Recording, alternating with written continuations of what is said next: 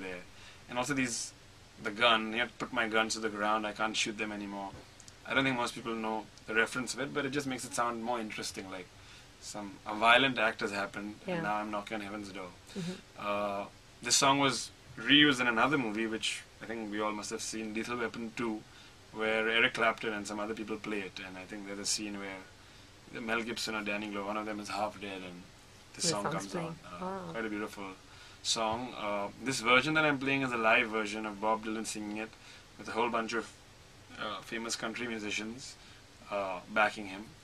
Uh, it's got a nice eclectic jamboree feel, so enjoy that. Here you go. This is Knocking on Heaven's Door live. Bob Dylan, 94.3 Radio 1, Maximum Music, Maximum Choice.